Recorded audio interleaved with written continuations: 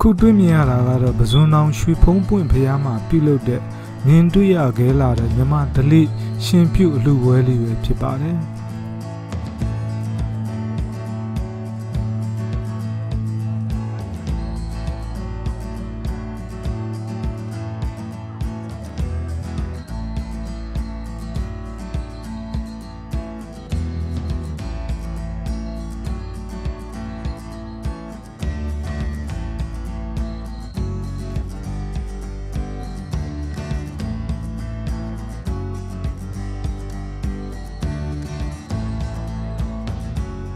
ဒီလိုရှင်ပြုတ်အလှဝဲတွေကိုရန်ကုန်မြို့ပေါ်မှာမမြင်တွေ့ရတာအတော်ကြာလာပါပြီ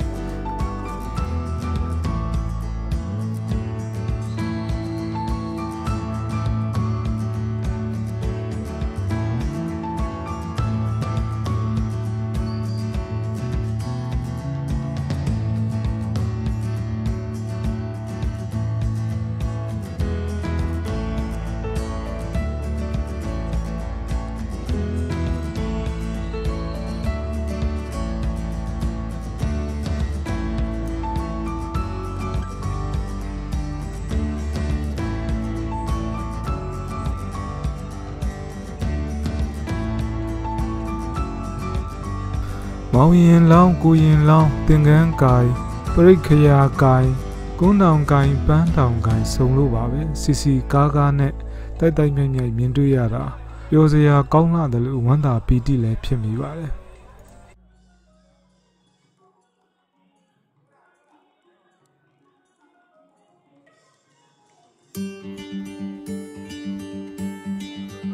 ဒါကတော့ပဇွန်နောင်ရွှေဖုံးပွင့်ဖျားပေါ်ကိုရောက်ရှိလာတဲ့မြင်ကွင်းမှာကိုရင်လောင်းမောင်ရင်လောင်းတွေကိုဖျားပြတဲ့ဒလိတစ်ခုပါပဲ